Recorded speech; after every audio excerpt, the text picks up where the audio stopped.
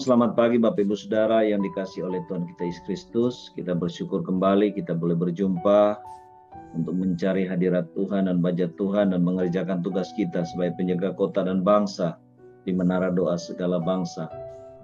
Baik saudara, tadi saudara ada yang dapat sesuatu dari Tuhan silakan sebelum kita masuk firman. Shalom Pak. Ya, silakan. Tiarma Pak. Tiarma dapat apa dari Tuhan? Tadi uh, Tuhan perlihatkan sama Tiar uh, padi yang menguning, Pak. Padi menguning.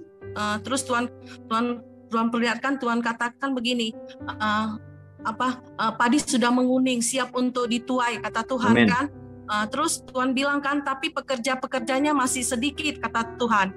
Lalu Tuhan katakan berdoalah uh, untuk yang punya tuayan supaya aku mengirimkan para pekerja-pekerja katanya. Terus Tuhan hmm. katakan hmm. lagi uh, masih ada kujumpai, masih ada kutemui umatku yang masih memikirkan, memusingkan hidupnya, kata Tuhan.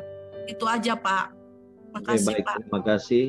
Ya, tadi saya dikasih ayat sama Tuhan Mazmur 64 ayat dari ayat 5 sampai 11. Uh, pasalnya ini tentang hukum Allah kepada orang fasik. Ini selaras dengan yang tadi doa Pak Hebron yang dan ayat 5 untuk menembak orang yang tulus hati dari tempat yang tersembunyi sekonyong-konyong mereka menembak dia dengan tidak takut-takut. Mereka ini uh, orang fasik dia itu kita orang benar yang takut akan Tuhan. Amen. mereka berpegang teguh pada maksud yang jahat. Mereka membicarakan hendak memasang perangkap dengan sembunyi. Kata mereka siapa yang melihatnya? Yang tujuh mereka merancang kecurangan-kecurangan. Kami sudah siap Rancangan sudah rampung, alangkah dalamnya batin dan hati orang. Ayat hmm. 8. Tetapi Allah menembak mereka dengan panah, sekonyong-konyong mereka terluka. Ayat 9. Ia membuat mereka tergelincir karena lidah mereka, ketika orang yang melihat mereka menggeleng kepala. 10. Maka semua orang takut dan memberitakan perbuatan Allah dan mengakui pekerjaannya. 11. Orang benar akan bersuka cita karena Tuhan, dan berlindung padanya. Semua orang yang jujur akan bermegah. Demikianlah firman Tuhan. Amin. Baik, terima kasih Pak Riko. Uh, saya melihat uh, itu apa? Suatu ladang padi gitu. Dia terus di atasnya itu ada mataharinya. Mataharinya itu terang sekali gitu, Pak. Terus saya dapat firman di dalam Mazmur 84 ayat 12 Sebab Tuhan Allah adalah matahari dan perisai, kasih dan kemuliaan ia berikan. Ia tidak menahan kebaikan dari orang yang hidup tidak bercela. Amin. Amin. Amin. Ya. Tadi dalam penglihatan uh, penyembahan Tuhan berikan sebuah penglihatan. Jadi saya melihat uh, ada orang yang dari atas sementara memegang tali Pak. Jadi tali uh, kayak tali tambang begitu lalu uh, saya melihat orang yang dari atas ini lagi mengangkat orang-orang yang di bawah itu uh, uh, angkat ke atas dengan memakai tali tadi. Lalu uh, uh, Tuhan berbicara begini dengan kalimat seperti ini. Tidak ada pertolongan dalam dunia ini. Hanya ketika datang kepadaku, akulah sumber pertolongan itu.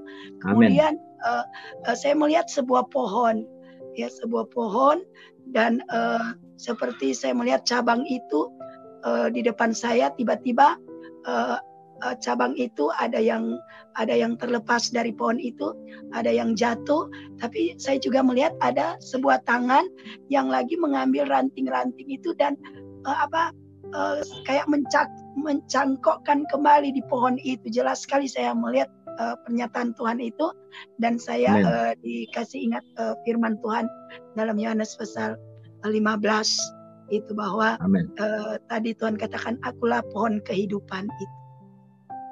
Itu saja Baik. Pak. Terima kasih Bu Pendeta Lenda. Ya, orang cuma dapat satu impresi kata. Uh, apa namanya? Perkataannya itu adalah keluar. Itu saja, Pak. Oh iya, Pak. Uh, Pak tadi uh, semalam waktu selesai kita Zoom aku berdoa langsung tidur. Nah, ketika aku tidur itu aku tidak bisa uh, tidur pulas, tapi tiba-tiba itu mimpi datang lagi, seperti penglihatan waktu di Zoom itu. Oh. Saya saya kaget lagi, oh Tuhan ini kan tadi, ya. jadi takut. Aku nggak bisa tidur. Gelisah gelisah aku berdoa lagi. Terus aku tidur.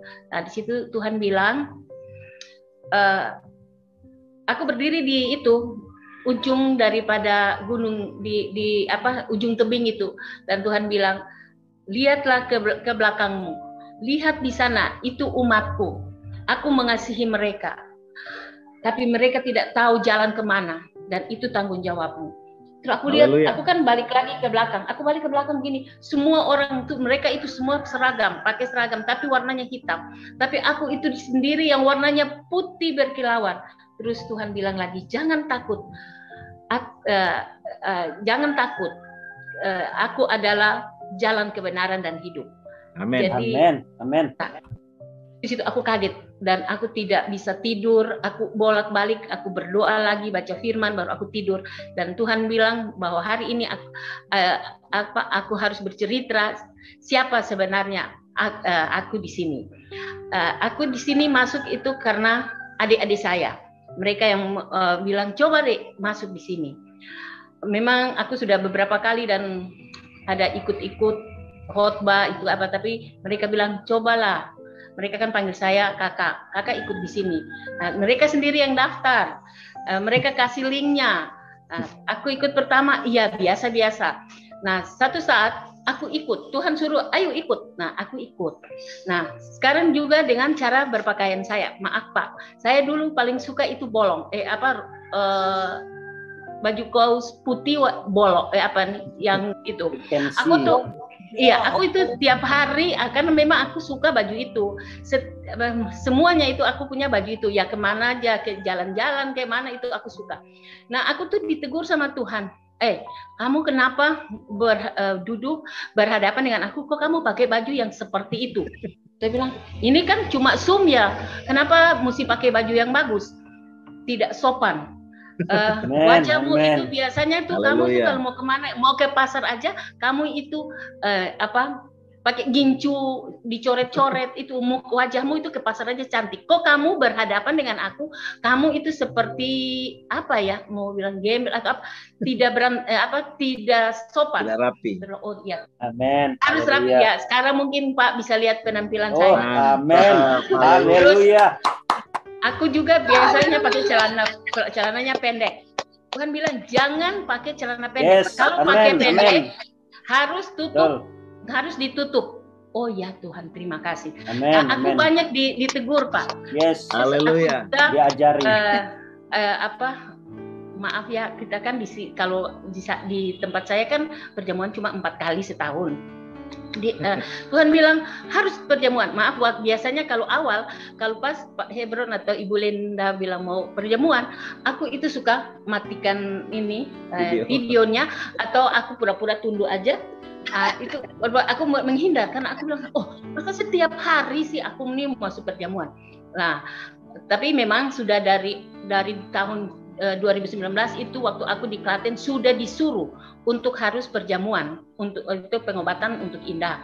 Tapi aku tuh ah masa masa aku kan tidak berani karena uh, cuma bisa empat kali. Nah, waktu aku pulang ke Ambon 2020, uh, 20, 2019 akhir itu kan mulai adanya corona. Di Ambon kan waktu itu belum. Nah, di situ Tuhan bilang, kamu harus membangun mesbah untuk keluargamu. Kamu harus perjamuan setiap saat. Tapi aku tidak mau aku cuma pakai dua kali awal dan akhir bulan. Maaf, aku itu cuma karena aku e, pakai anggur orang tua kolesterol. Itu saya yang aku pakai. Nah, terus aku pakai biasanya aku cuma pakai pisang atau singkong.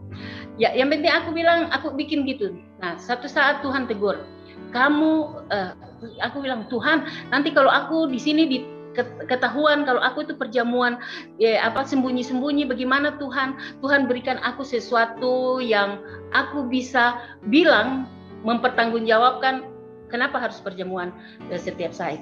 Nah, Tuhan taruh di kepala saya karena memang saya bukan ahli Alkitab, tapi Tuhan bilang, "Kamu lihat bangsa Israel waktu mereka itu mau keluar dari tanah Mesir, di situ adakan perjamuan." Di situ mereka perjamuan dan di depan rumah mereka mereka eh, apa oleskan dengan darah darah domba. Nah di amen, situ amen. malaikat maut itu melewati. Amen. Oh iya. Amen. Dan akhirnya tak ambil keputusan kita harus uh, perjamuan dan yes. uh, itu untuk mau bilang untuk keluarga itu satu apa masalah bagi keluarga. Mereka tidak mau dan bilang, hei siapa yang ajar? Eh, ketong ini dari dulu cuma perjamuan biasanya cuma dua kali satu tahun. Sekarang sudah empat kali, sudah lebih lah. Kalau kau bilang setiap bulan harus awal bulan dan akhir bulan, malah kau katakan setiap minggu harus perjamuan. Ber, dapat di mana? Di firman mana? Terus kita, eh, kita bilang ini yang Tuhan kasih. Apalagi mamaku itu orangnya keras, mak di sini ma, mama harus begini. Keluarga aku itu marah sekali Nah, karena aku pakai anggur apa uh, orang tua pasti agak ini ya untuk anak-anak, tapi aku kasih sedikit. Nah, kira-kira uh, dua minggu lalu lah aku ke rumahnya Ibu Dela. Saya bilang, Bel, kamu tiap hari perjamuan? Iya.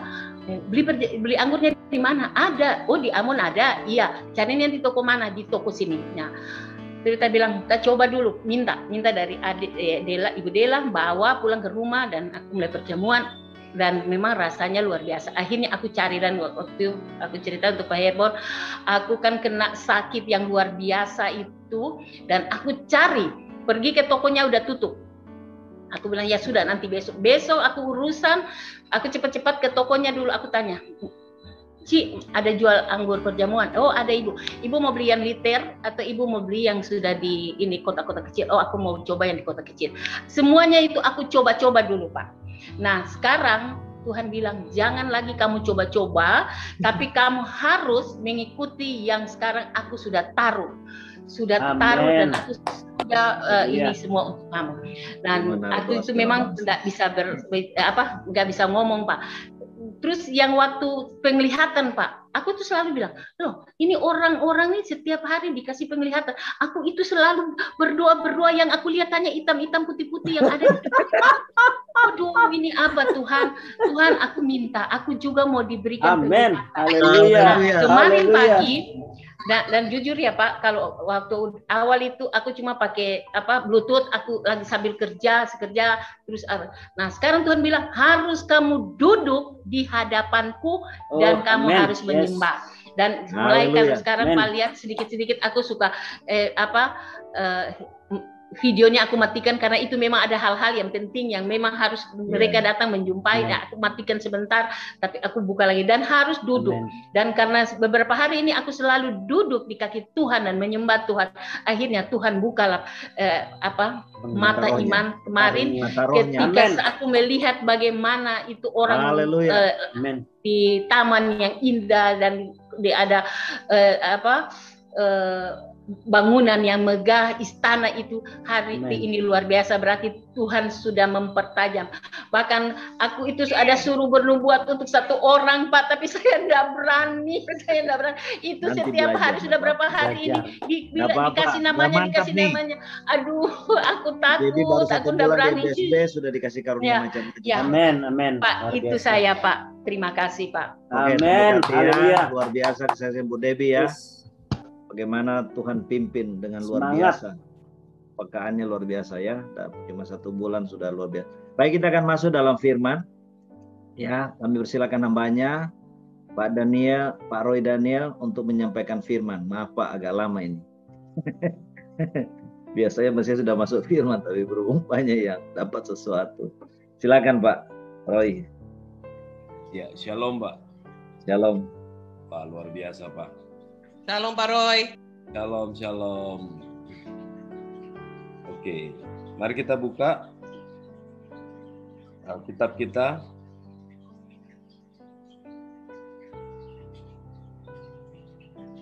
Bilangan 10 ayat 9 dan 10.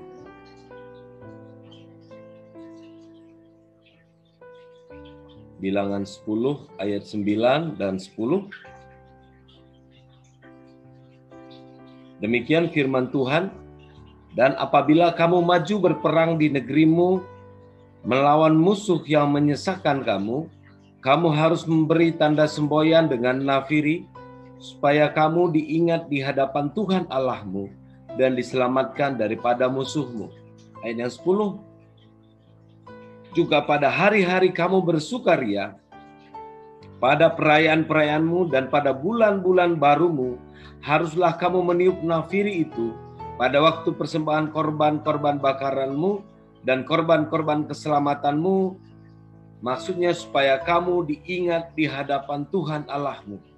Akulah Tuhan Allahmu. Demikianlah firman Tuhan. Amin. Amin. Haleluya. Haleluya. Nah, ketika pertama kali saya belajar tentang peniupan sofar, apa itu sofar, kenapa harus dibunyikan, pada waktu itu saya sedang ada di semester akhir uh, di sekolah teologi dan saya tidak menemukan begitu banyak tulisan. Sampai satu hari saya diundang oleh almarhum Bapak Petrus Agung dan dia malah bertanya kepada saya, saya setiap pergi ke satu tempat itu saya harus membunyikan suara nafiri, suara sangkakala ataupun suara sofar. Kemudian dia bertanya kepada saya, kenapa harus demikian? Sejujurnya dalam hati, saya juga bingung ini Pak. Tapi setiap hari pada masa itu, saya setiap hari diberikan perintah sama Tuhan untuk meniup sangkakala. Karena sebelumnya di gereja di GB Gatot Subroto memang saya peniup sangkakala, saya peniup sofar di sana. Dan Tuhan pada waktu itu ketika saya menyelesaikan sekolah, eh, begitu saya di wisuda, Tuhan tuh berikan panggilan menjadi pendoa. Tetapi ketika di sekolah, saya ini satu-satunya murid paling tidak suka doa. Sampai saya dipanggil salah satu dosen saya namanya Pak Martinov Bultong. Dia bilang, kamu ini jadwal menara doa banyak bolong-bolong. Doa pagi, doa pagi, menara doa kamu ini banyak banyak nggak adanya. Terus saya jawab dengan sombong mungkin ya. Saya bilang, Pak, saya jauh-jauh datang dari Medan ini bukan buat berdoa kalau berdoa di Medan pun saya bisa. Saya ke sini mau. Uh, sebelum saya sekolah, saya ini pernah melayani uh, jadi gembala di Kepulauan Mentawai. Jadi kalau ada orang mau datang uh, dan dia datang, Pak, saya mau melayani Tuhan. Saya lihat kalau ini masih muda, oh jadi guru sekolah minggu. Kalau lihat sudah agak berumur, apalagi om-om gini sudah jadi pendoa. Karena dulu saya berpikir, ah doa itu sangat simpel.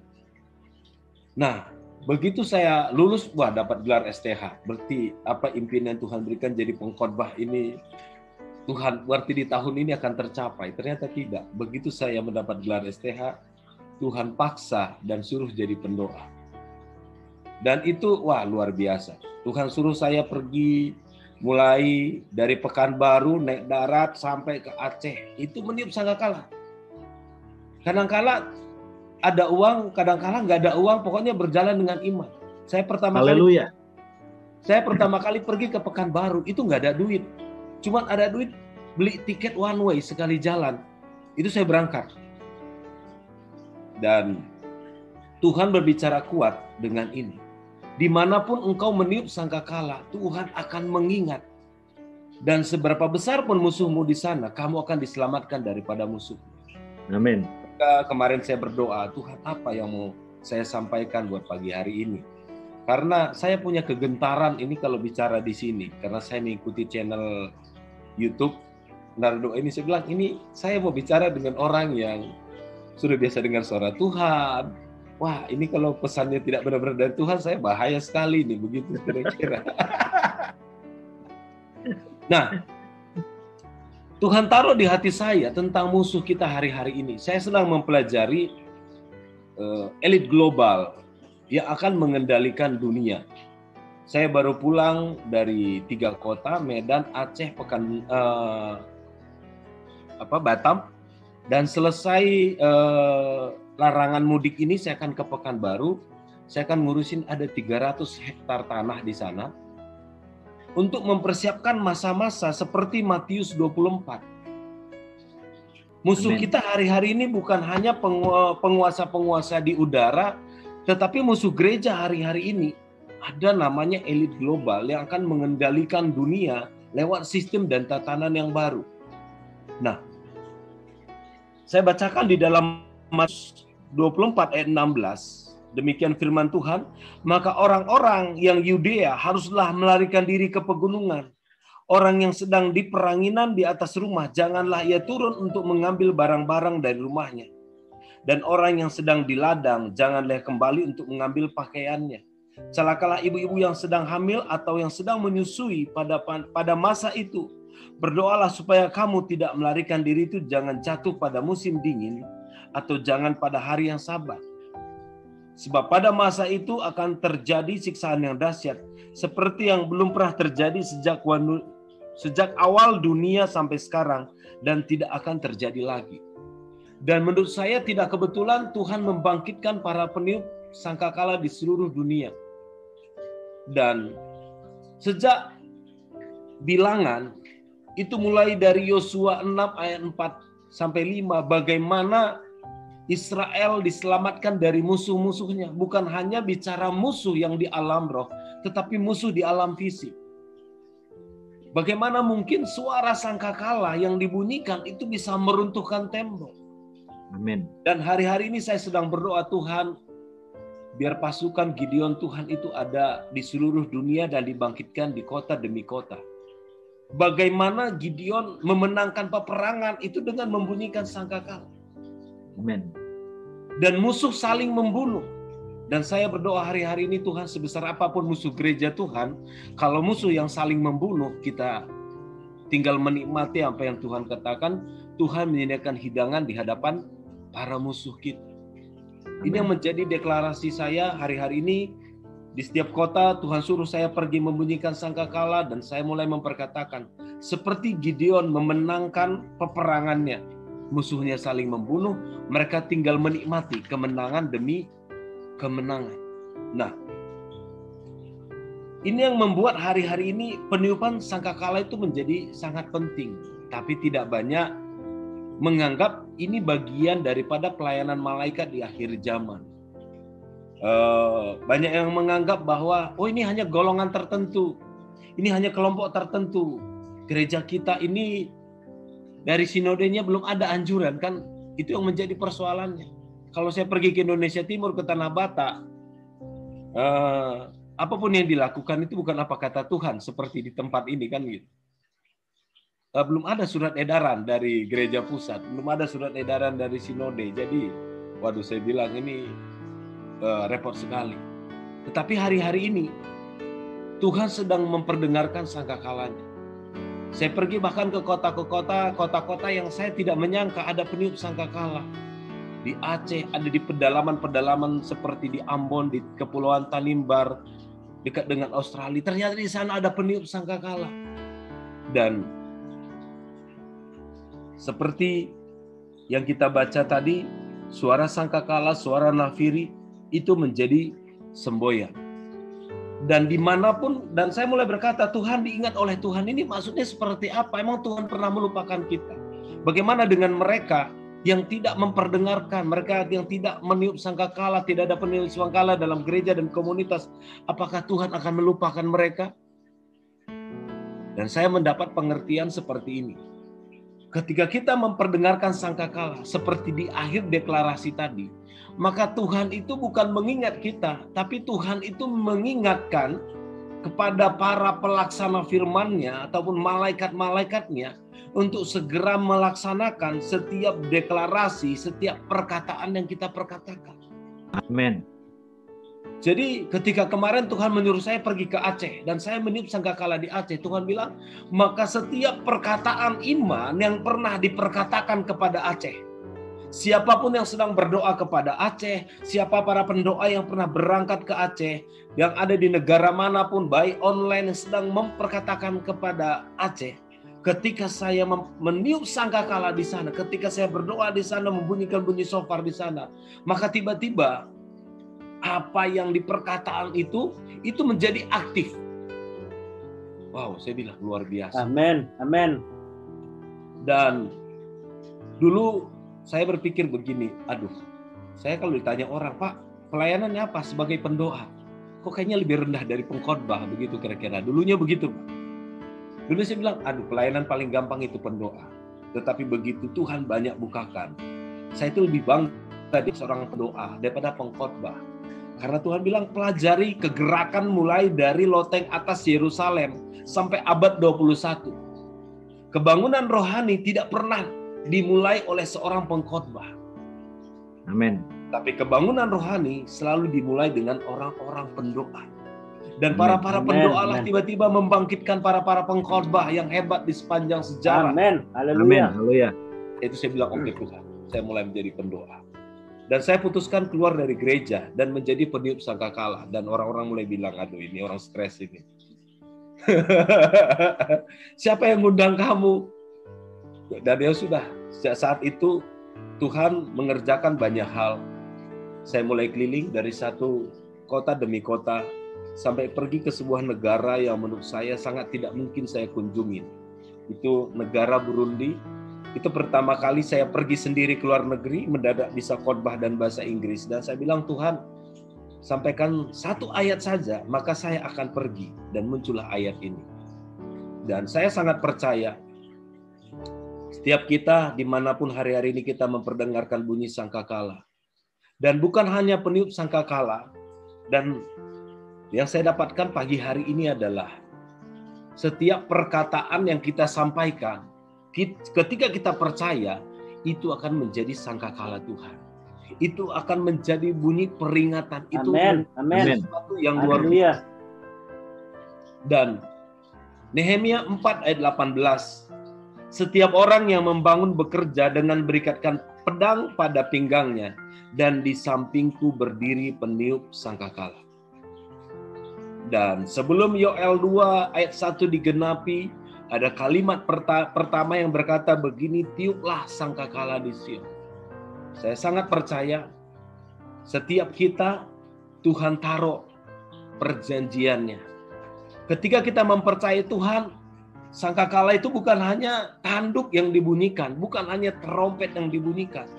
Tetapi ketika kita percaya ini yang Roh Kudus katakan, perkataan kita, apa yang keluar dari mulut kita, itu adalah sangkakala Tuhan, maka itu akan terjadi. Amin. Jadi, Amin. Saya sangat percaya sebelum antikris datang, masa keemasan gereja itu akan terjadi. Yoel 2 ayat 1 akan digenapi. Di Amin. mana kegerakan itu, kebangunan rohani itu bukan hanya terjadi di dalam gereja. Akan muncul orang-orang yang mendadak menjadi pengkhotbah. Mereka akan mendapat penglihatan seperti Ibu Debbie tadi, dengar Tuhan sendiri langsung. Ya kan? Amin. tidak perlu lagi ajaran dari orang lain, tiba-tiba Tuhan sendiri memberikan pengajaran-pengajaran, pengertian-pengertian yang baru. Dan ini yang membuat saya sampai hari ini tetap pergi ke mana pun Tuhan suruh mulai memperdengarkan sangkakala. Agar setiap doa apa pun yang pernah disampaikan di setiap kota, Tuhan akan ingatkan.